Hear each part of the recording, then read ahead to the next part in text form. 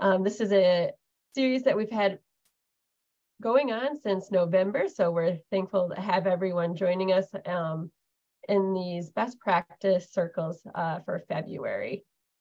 Um, just a few housekeeping items. Um, we will be utilizing chat, so please feel free to chat in any questions you have throughout the session today. Uh, let us know who's here. Uh, tell us where you're calling in from, where you're located, and what organization you're with.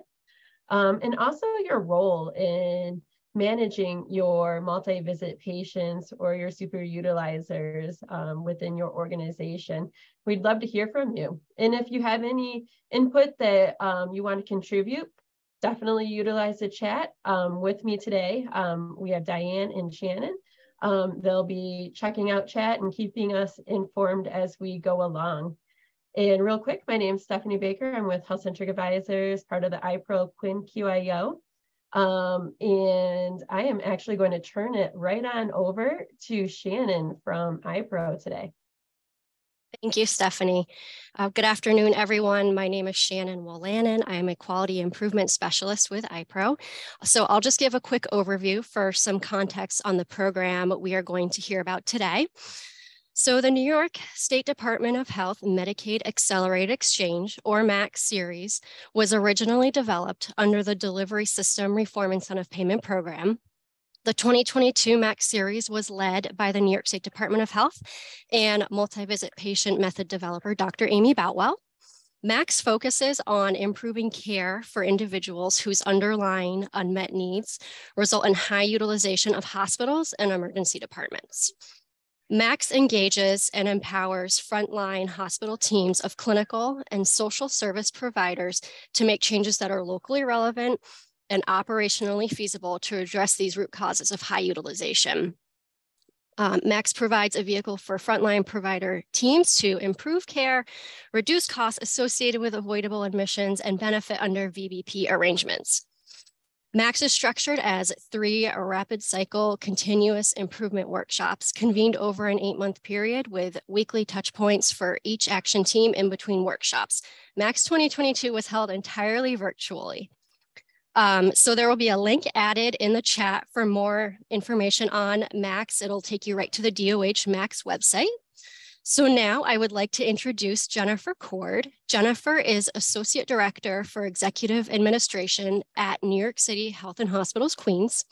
She is a licensed clinical social worker, a certified Lean Six Sigma Master Black Belt, and she's the administrative champion of the MAX Action Team at Queens Hospital. The Queens team was one of our standout teams from the Max, uh, the 2022 Max series, and we are excited for them to share how their participation in the 2022 Max series provided a framework for their team to do something different for these patients that need it. Jennifer has a lot of great information to share today with her team, so I will now turn it over to Jennifer for further introductions in today's presentation. Jennifer? Right. Thank you so much for having us. It's been a wonderful experience for our hospital to have the opportunity to improve care delivery and for all the participants. Um, we'll be sharing later that we have representation from every department within the hospital, inpatient, ED, ambulatory care, and it's just been um, a really um, provider and um, clinician-driven um, experience. I will be um, joined today by our, what we call our lead um, super um, clinician, Lana Bind, who is a social worker. She is the assistant director with care and case management, and we've named her our social service MVP subject matter expert. And then we're going to be joined by Nadira Ituru, who is our director of nursing for care and case management followed by Dr. Eben Kimball, our attending physician. So why, why Queens and what have we been doing? Um, we had participated in a first pass of, um, of the MAX series. And when, like with most people, I'm sure you can relate, when COVID came, we directed ourselves to patient care and the care delivery improvement modality and focus um, was not our primary aim. So what we've done is reconvene the team, and we have um, been utilizing all the existing elements that we had from the first pass. We've optimized our IT tools. Um, we have um, a tracking system. So for example, how do we identify our MVPs, our multi-visit patients? We have our EPIC specialist that pulls um, their presence from a data, the EPIC um, portal. Um, by 7 o'clock in the morning, that person sends out to the entire team the list of MVPs so we know who's in the house, and that's how we notify them. And we um, have um, uh, our lead um, subject matter expert. Um, we've decided for this pass that we were going to keep it very simple and focus on two MVPs per day. We really didn't have the bandwidth to expand to all of the MVPs in the, in the hospital at one time. So we decided to take a slow and deliberate review of all of our MVPs. And then what we've done is um, follow the pathway in terms of um, engaging these patients using a motivational interviewing approach, trans theoretical model of change to really see where they're at in terms of identifying what they are, um, what they want to work on as their driver of utilization. And we have developed a communication system, which is a plan for their return that's documented and held in EPIC in a place where everyone can find. We also have a weekly case conference meeting where we all collaborate to see what we can do to improve care delivery to these patients. And then we're going to be talking about some success stories and just our struggles with providing care to this very complicated patient group. Um, what we learned during our first pass was that our MVPs represented 2.7 of all percent of all of our patients, and that they were four times more likely to be admitted. So this little group of patients had a tremendous impact to our uh, patient um, care delivery team and to utilizing resources. And it became even more imperative during COVID when we really had to optimize our beds and our use of resources that we try to stabilize these patients as much as possible in the community versus in the hospital. And as I've mentioned, we've been very fortunate to retain many of the initial um, MAX um, MVP team members, and we've added over the course of our participation, we've added our ED leads social worker that's a new program that targets chemical dependency patients in the ED. We have um, really utilized our EPIC provider to tell us what efficiencies are available within EPIC. We've even partnered heavily with patient accounts because financial information and the medical coverage information is so vital. One of the things that we've struggled with is um, our analytics department um, has had some up and downs. So getting timely data is, is an ongoing issue. Um, when we first started Max, our um, data analytics person was so involved with us that he did his capstone on these MVP patients. So um, we are utilizing data based on um, our dashboard, which we'll discuss later. But this just represents that their um, length of stay for the MVPs, for example, is about 6.7, where a typical patient is for our hospital 5.2 days. You can advance the slide, please. This is our care delivery model, and it reflects an approach that we have, which we've done with this whole project, which is continuous improvement. When we did our first pass, one of the things that we found very important is that the team wanted to have a dedicated MVP um, group that would really know these patients and can be activated at any time to intervene with the existing providers. And we've been able to come close to this ideal state by having a dedicated resource that we've embedded in our care management department. And as I mentioned, we call her our social service subject matter expert. So her role is to utilize this list of patients that come um, to us in the morning. She goes out with the care manager, so they're interviewing the patient simultaneously, and they assess the patient for the driver of utilization. They record this information in the medical record, and then they can they then consult in a in a huddle with our doctor, with a social worker, with all the team members that are important. And one of the things that has been really just instrumental in getting the results that we've gotten and, and formulating our approach is um, our subject matter expert has become the quarterback.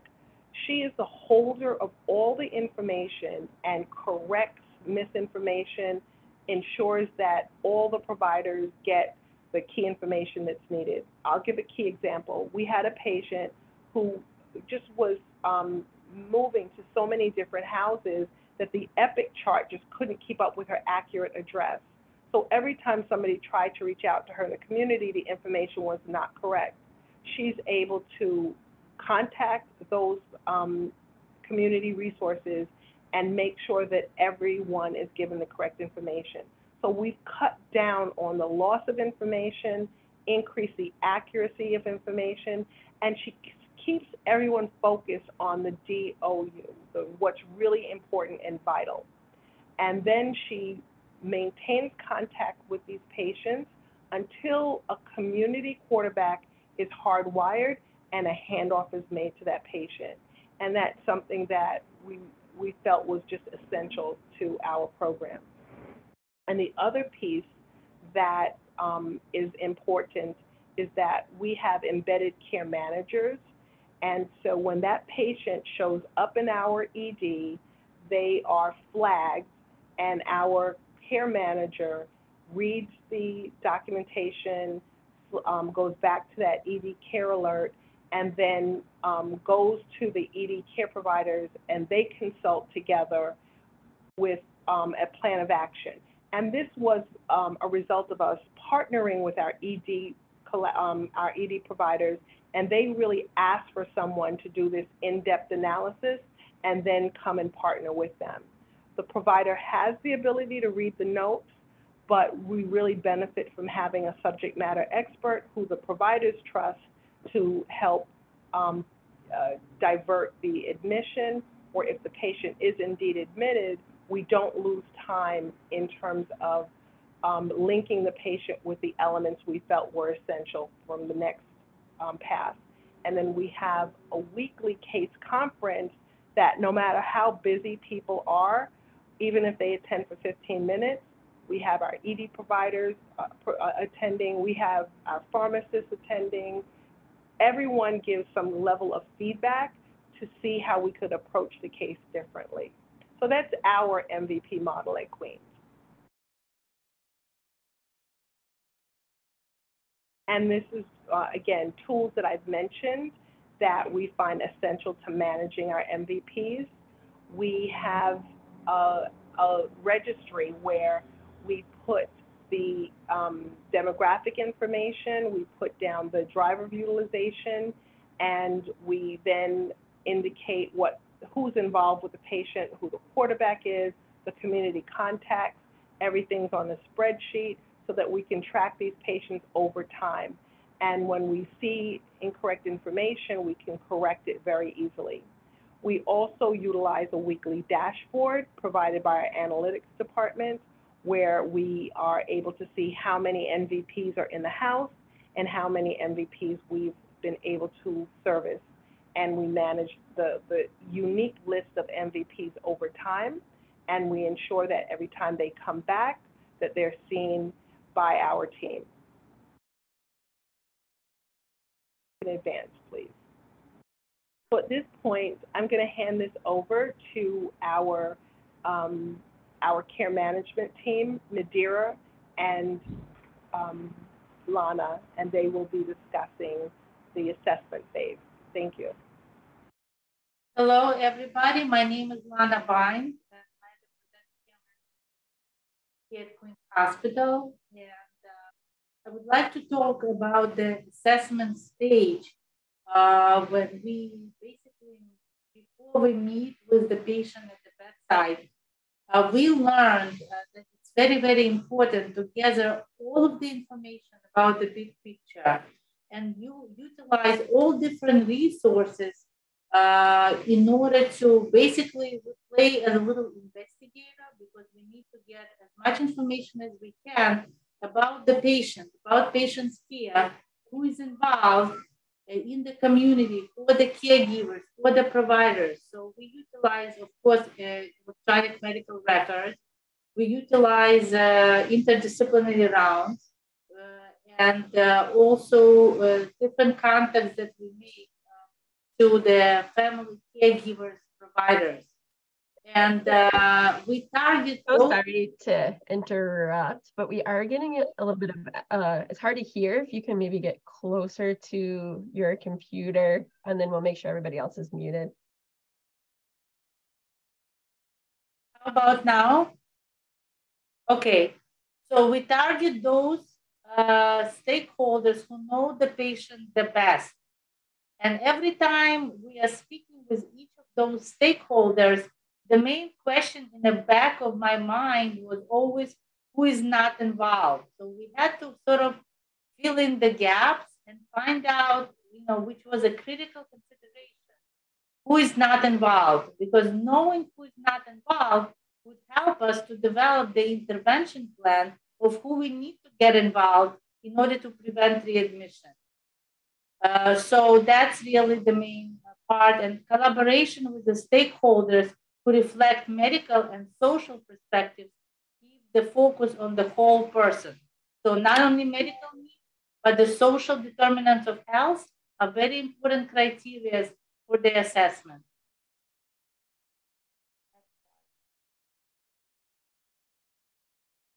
Next slide, please. Um, so hi, I'm Nadira Eduardo. I'm the director for uh, care and case management. Um, and after Lana assesses these patients at bedside, um, what she does is she actually drills down to figure out what the driver of utilization for these patients are. And we found after doing this multiple times, there were really three that stood out um, amongst all the others. And that's inadequately addressed plan for recurrent issues, inadequately addressed substance use disorders, and inadequately addressed services and supports. Um, for our recurrent um, issues, uh, we actually found that we had a group of hemodialysis patients that kept coming back. And it turned out that the issue was just transportation. It was that they needed help to be linked to transportation in the community to get them back and forth to their dialysis centers. Another um, work that we did, we found um, a goals of care discussions like palliative care was not really taking place. And we have an example later on where we really delve into that a little bit more. And then for our inadequately addressed substance disorders, what we did is we really linked with our ED leads team um, to really connect with these patients. And it was great because this is a team that usually just works in our ED, but through this program, they would go and meet patients and it was really a beautiful thing. Um, and Lana, I'm again so happy that she's part of care management um, because she really was able to link our patients to services um, that really needed it. So she really is that bridge. Next slide, please. Uh, now, uh, what are the uh, close continuum partners that we involve uh, during the intervention stage? Uh, and uh, so basically, I'm just going to go through the key ones that uh, play the major roles through all of our interventions. Uh, like Nadira mentioned, the leads team, those are our substance use specialists who uh, see patients and not only in the team, but also based on our request in, at the bedside. They develop the intervention plan. They provide uh, patients with the referrals uh, concrete referrals, sometimes they even get the transportation to get to the patient so they can be sent to the inpatient rehab substance use facility. Sometimes they go right from the ED without getting admitted. So this is a really great resource for us. Another partner in the community that we uh, developed uh, were with the ACT teams, patients that have serious mental illness with SMI who are being followed by in the community by the ACT teams. Uh, those are very important partners uh, in the community that we work with, and we basically develop them as a quarterbacks because they know the patient best, and uh, very much this exchange of information uh, um, led us to understand that that would reduce the uh, number of readmissions. another very important partner that we found out was the we were the hemodialysis center, where we found out that the social workers and the nursing staff, very important providers of information about the patient care in the community, that would give us that outlook, that open our eyes in terms of the drivers of utilization. Uh, very often that uh, that part that would be uh, in, another partner that we developed a lot of uh, relationships with health homes, care coordination services. We uh, basically investigated and linked our MVPs to care managers and community support through care coordination. Uh, those care coordinators, health homes are our eyes and ears in the community for the patient because they're the ones who are making uh, home visits. They meet patients where they are in the community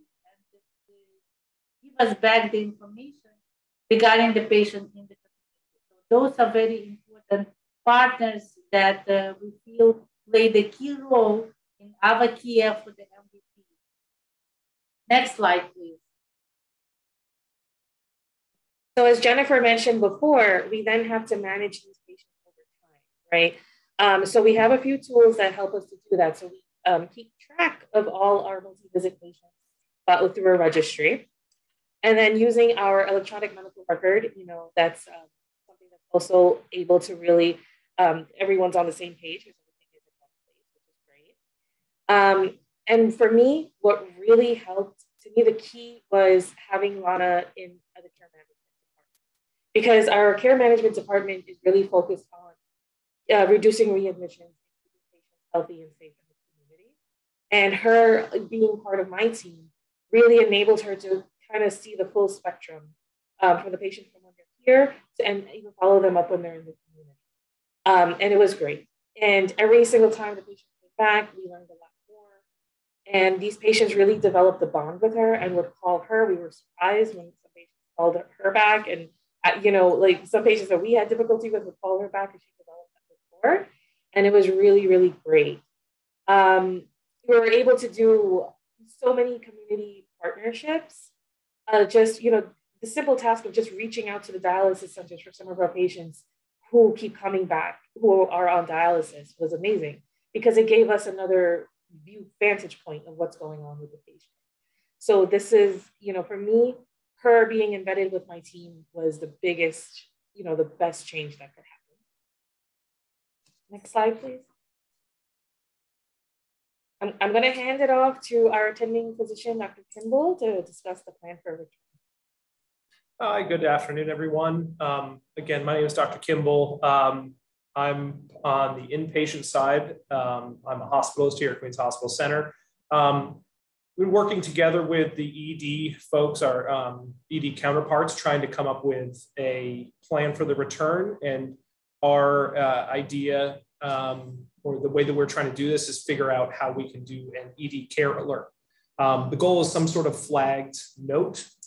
Um, in a perfect world, it would be uh, a note that nobody, that any sort of ED provider, whether it be a new uh, mid-level provider or a, an attending, would be able to see without too much hassle and gives them a short, um, brief, but comprehensive understanding of who the patient is, especially when it comes to the medical side of things. um, because there is a whole nother, there will be a whole nother record um, that details the comprehensive psychosocial issues that um, Lana and Nadira were talking about. But um, the goal for this note was to try to um, address any specific medical issues that could prevent or um, prevent a readmission, right? So here are a couple of kind of real world adjacent examples. You know, a patient who comes in for constant non-compliance with anti-epileptics. we've noticed that a patient like that would get admitted for seizure with, you know, breakthrough seizure, quote unquote, but it's really the patient's not taking their seizure meds, right? So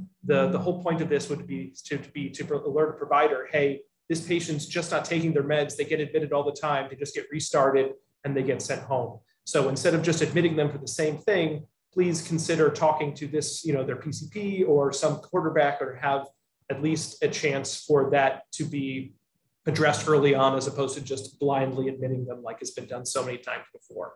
So the whole goal for this is to try to put the note in a place where it can be seen and it's accessed and not just ignored and it's short enough that a busy ED provider could do it. And you know, it's kind of an ongoing collaboration between our ED providers and the inpatient service because what as an inpatient physician, I might have a different focus than the ED provider, but kind of going back and forth and trying to figure out what's relevant, what's appropriate, what's accurate, and what's short enough to actually be usable is really kind of our, our goal. So here's just a couple of examples and trying to work with our existing electronic medical record to try to figure out where it would be best accessible, whether it pops up as a flag or whether it's part of a, of a dedicated note. Um, we're still continuously working with um, you know, it's it's difficult to get Epic to build a whole new thing, especially because we are part of the Health and Hospitals Corporation, and we can't just make unilateral changes. But it's still a work in progress, and um, we're trying to figure out which works best for our workflow, and preferably with the least amount of onboarding. But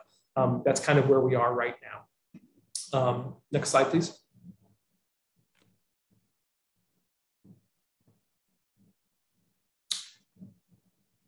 Um, Okay, so you know, in this, in terms of our stories of successes, um, I think we've talked about them before. With um, you know, Dira and Lana have kind of talked about it.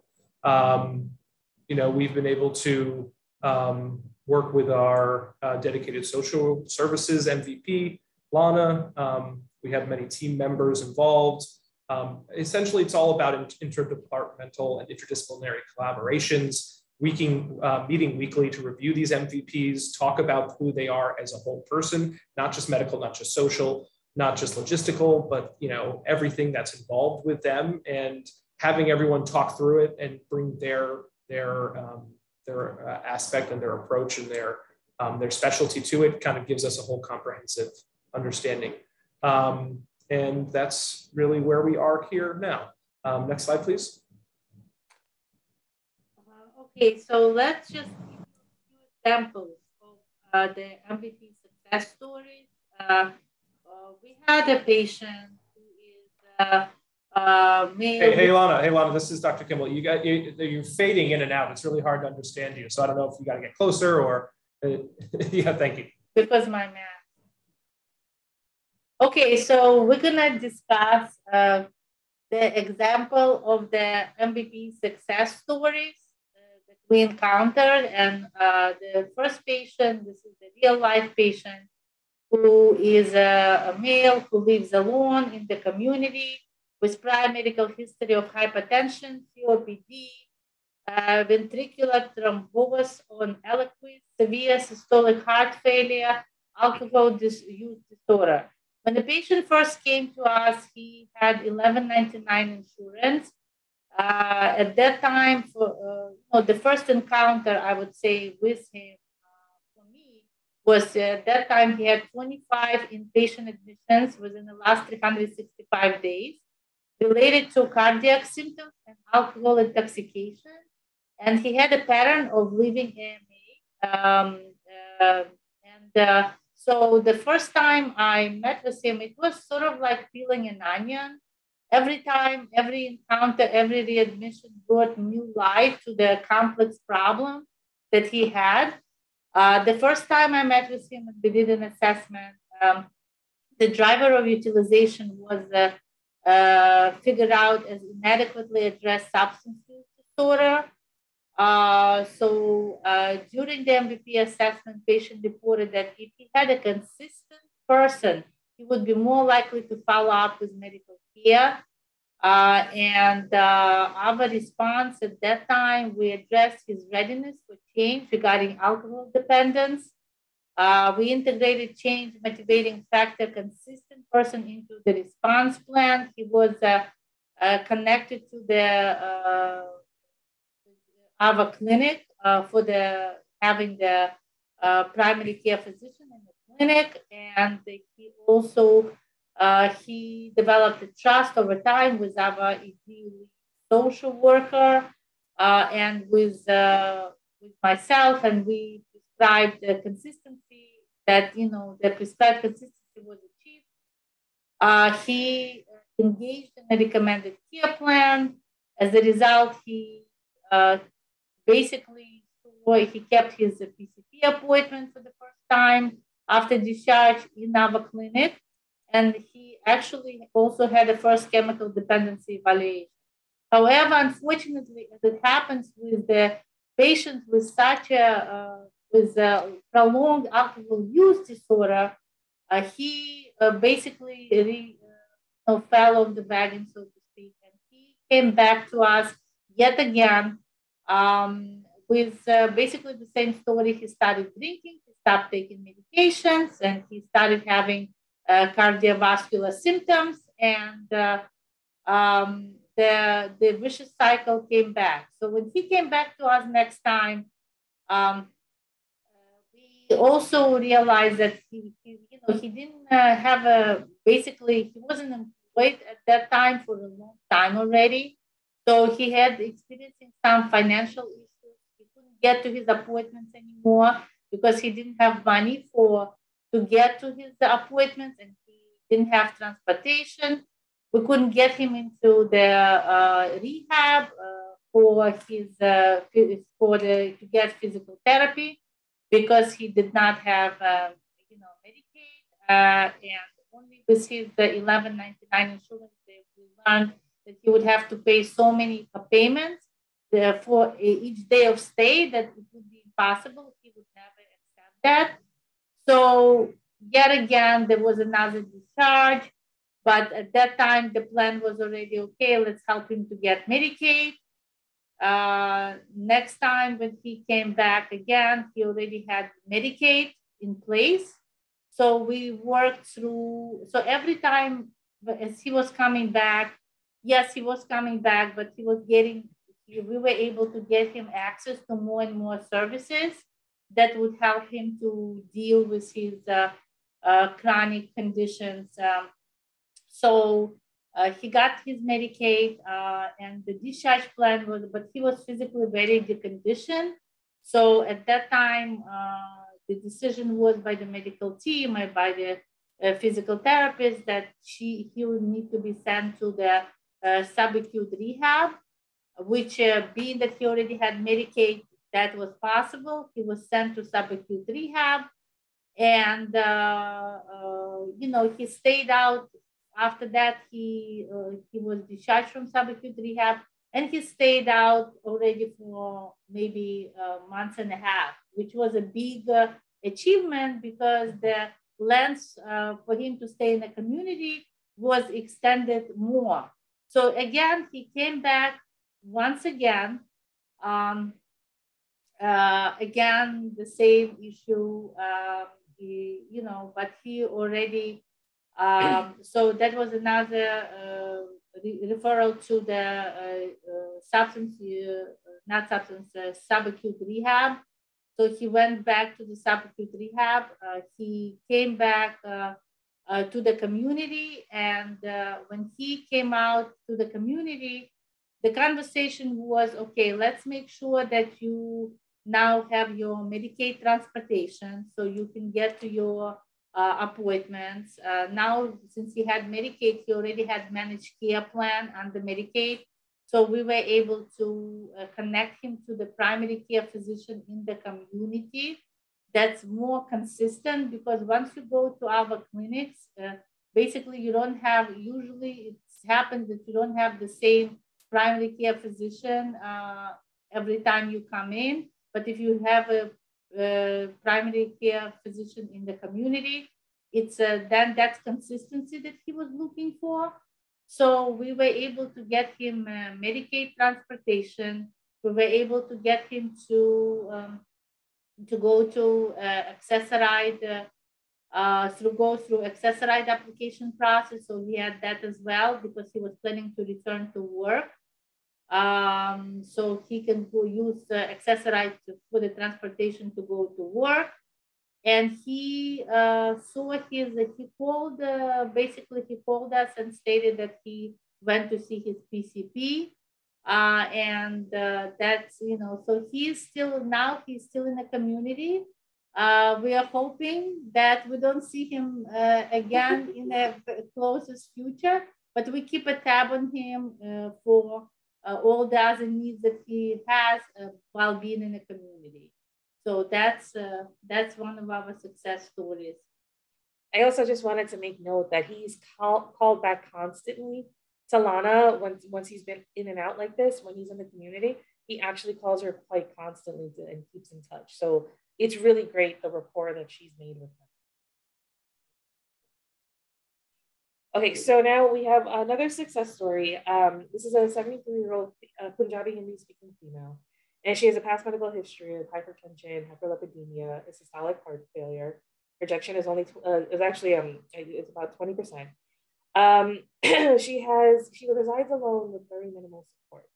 Now, um, our facility actually does a lot of work around heart failure. We have its own dedicated unit, its own dedicated pharmacist, um, and has a, a, heart failure NP who comes to the multidisciplinary rounds in the morning and then also sees patients in the afternoon. Um, so for me, this case came to me by my the heart failure pharmacist. She called me because she had concerns. Um, herself and the CHF um, nurse practitioner met with the patient at bedside and the nurse practitioner speaks the patient's language and they were able to you know really suss out whether or not the patient was compliant with her meds and it was found out that she was taking them you know she was able to get them from the pharmacy. They're delivered once a month a very small copay that she does pay. Um, and that she's taking them like you know she's taking her meds. And she says she's following the fluid and diet restrictions. So the pharmacist called me because she said i don't know what else is left to do. And I, I said to her, I think this is now worsening progression of disease. And maybe now we need to ask the team for a goals of care discussion, or possibly let's explore advanced heart failure options at this point. Um, you know, so that was kind of the way the discussion went, not realizing that Lana had seen this patient I was already working on some supports in the community because, as we said, she um, resides alone. Her family uh, lives about, I guess, like an hour or two away. They're not as involved as they should be. Um, she goes to her her temple every day, does a little chores, odds and ends jobs, just for um, you know a little bit of money. Um, but you know she's also trying to be very independent. Like she doesn't want that independence taken away. Um, so we found. Um, next slide, please. So what we found was that she had inadequately addressed goals of care, and adequate supports and services in the community. And you know, we realized that you know she does need to be linked with a lot of these supports. And Ms. Lana did a great job with actually managing to set up um, what is it, a Medicaid? It's assessment, the independent uh, assessment interview through uh, Medicaid uh, to determine patients' eligibility for the Medicaid long-term home care services. So it, it took a lot of coordination on her part, but she was actually able to get that done, which was great. Um, and as far as speaking to the team, uh, I believe they did tell to our cardiology consult team and you know suggested to them that she may need advanced heart failure options. Um, and the last time she was here, she was actually transferred to our sister hospital, Bellevue, um, for that. And they have been working her up now for these advanced heart failure options that could be available to her. But, you know, this case really highlighted that we, you know, we don't start addressing the, this issue early enough with patients, you know, especially patients who have heart failure. You know, we know that their disease is going to progress at some point and you know, we still, you know, we need, there's still work to be done on how we can start incorporating a goals of care or a palliative care consult when these patients do come back. Um, next slide, please. Um, so some key takeaways with this whole case when we did our um, case review um, was that we had to make sure that, you know, um, we were using our interpreter services or patients who, you know, um, or providers who spoke the same language to make sure there wasn't like a cultural or language barrier there. Um, so we, you know, really wanted to make sure that we're using our best, um, our best communication uh, possible with patients, especially to drill down to, you know, make sure, ensure compliance or understanding of their disease process. Um, I believe Jennifer, um, you're going to take it away. Oh, you're muted. Thanks. We, um, over the course of doing this targeted intervention, we saw 123 unique MVPs that we tracked for the time that we were involved with this MAX series, and we continue to do so. What we found is that um, compared to the group of MVPs that were not seen by the MAX team, our cohort graduated as MVPs. They literally dropped off the definition of an MVP, and their um, their re- uh, as evidenced by their um, readmission rate and their days of treatment was was reduced compared to the um, the population. So again, for us, getting data has been a challenge, but this is um, very promising, and that's why we are going to be able to continue forward with hardwiring some of the things and best practices we identified during the Time and MAX series. And then I'll let Dr. Kimball um, end the presentation for us. Thank you.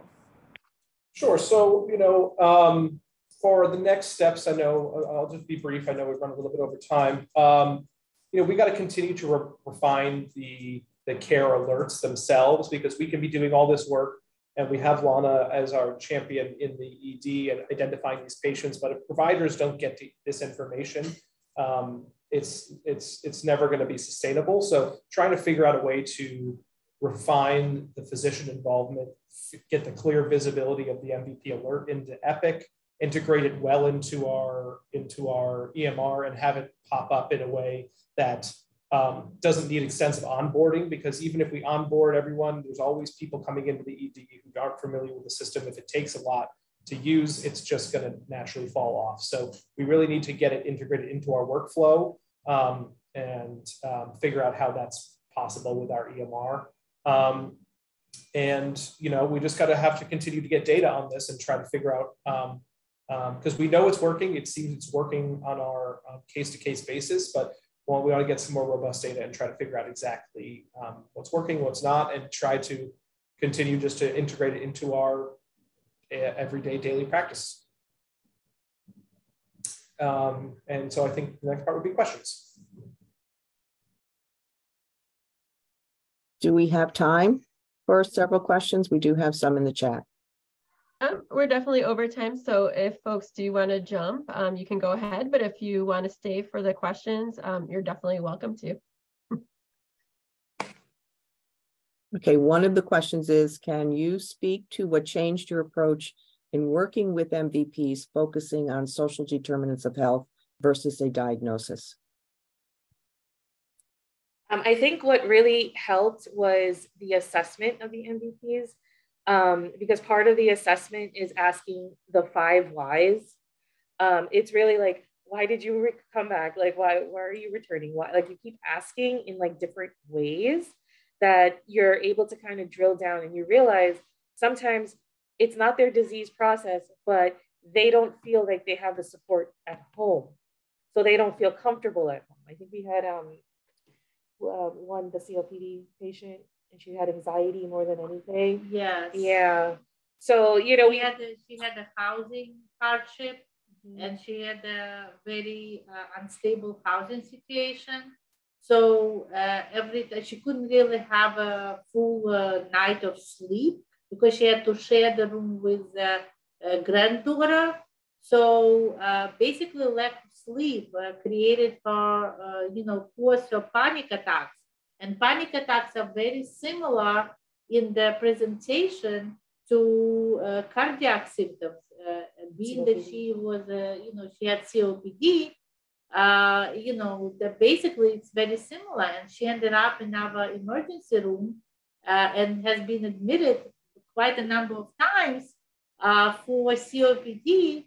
But then, uh, you know, after our very, very close assessment and conversation with so and with the family uh, and consultation with the medical providers on the team, uh, the consensus was that she simply needs anti-anxiety medications to add to, to her regimen and uh, that would address her anxieties and her panic attacks and you know but um, that was done and uh, you know but until the housing situation is uh, corrected and changed uh, this will still uh, show up. Uh, but you know at least we'll, we already will know what are the cause uh, for those visits to the okay.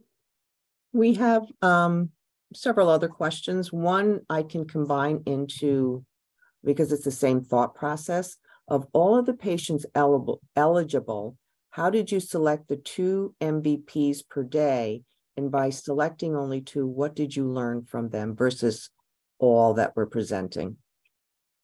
I'd like to answer that. When we were planning our participation in MAX, we wanted to be successful and we identified early on, unlike our first experience where we went over the, we, we went to impact the entire population of our patients per day, we couldn't do it. We didn't have the bandwidth. So we made a decision to look at those patients that were most complex, that would benefit from the MAX intervention, but more importantly, would point out the gaps in our care delivery and give us the opportunity to really improve care. And we found that early on with our chemical dependency patients that we were able to really optimize the use of the ED Leads program, which was underutilized and not well integrated into this work. And I think that's been something that we really hardwired, where they easily became the quarterbacks for these patients. They found, um, you know, chemical dependency programs. They used the PEER, which was a new program to the hospital so we really used it to improve care delivery and benefit the patients over time. Okay. And the final question is, can you provide a few examples of who are the targeted partners that you identify as key? Is it the network within the resident circle, the patient circle, or ex external, or both? Um, I think it's both. I think it's definitely both. Uh, you know, we uh, very much, uh, very often we found that the key partners uh, were definitely uh, caregivers uh, who live in the same household. quite often, they were always the better historians, the better information providers, they would open our eyes on a lot of issues that patients would not otherwise be telling us for many reasons. Uh, so, and of course, also uh, community providers, uh, hemodialysis centers, very much like, you know, we, we would hear from the patient, oh, I cannot go to the hemodialysis because uh, I, I need help to navigate stairs in my lobby and there is no disability accessible uh, ramp. And then we would call the uh, hemodialysis center and say, hey guys, maybe you can do like a different mode of transportation for the patient. So there is, you know, they come through the ambulance and on a stretcher, then they don't need to negotiate the stairs. Uh, so, you know, this uh, back and forth, and they would tell us either, yes, we'll do it. We have those incidents. And we had incidents that will say, when they will say, you know, Uh, this is not really the truth. Patient keeps on refusing hemodialysis just because patient is not adherent and finds, you know, different ways to, you know, and then we would speak with the family and they would say, yeah, we come every time to help. And the patient just says no. So uh, then uh, household, very key, very important partners. Um, and uh, they're the ones who making home visits. They see their home environment. Very often, that's something that we do not know, being that we're in a facility, we're facility based. So they're our eyes and ears in the community. So if we we often either find them that they're already linked to the patient, or if patient does not have it, we, we would find a way to make a referral and to make that connection. So there is a care coordinator in the community. And once it's done, we basically feel that we can breathe a little easier because patient will, will not fall through the cracks. It will be the, uh, the you know, people who are gonna be watching patient in the community, making connections, uh, accompany patient to the uh, medical doctor's appointments and etc. So I just wanted to add another piece of um, goodness that happened early on in our journey when we identified our patients needed Access-a-Ride. Um, you know, I contacted the Access-a-Ride um, service, and once they heard what our project was, the person gave me their fax number. People really want you to reach out to them to partner, and you would be so surprised that if you ask what you get. And, you know, in terms of our managed care department, people who heard what we were doing were like, can we partner with you? Because this would make our life easy. This is something that we've been wanting to work on also. So it's been a real win win by just reaching back out. And that's something that we really had stopped doing, just focusing on what's in front of us, but really trying to build and just to address um, root causes I think that's something that's been very motivating. Well, thank you all so much um, for an amazing presentation and for the discussion afterwards as well. Um, and thank you all for hanging with us. I know we went a little over, but it was so um, important to hear all the work that they've been doing. Um, so we appreciate that. If you do have any other questions, definitely feel free to reach out to us. Um, and we can get those answers over to you. Um, and we hope to see you next Thursday, same time. Um, we'll be talking about uh, Smart Care in Massachusetts, which is a mobile integrated health program. Um, so hopefully we'll see you all there and enjoy the rest of your week, everyone. Thank you all so much.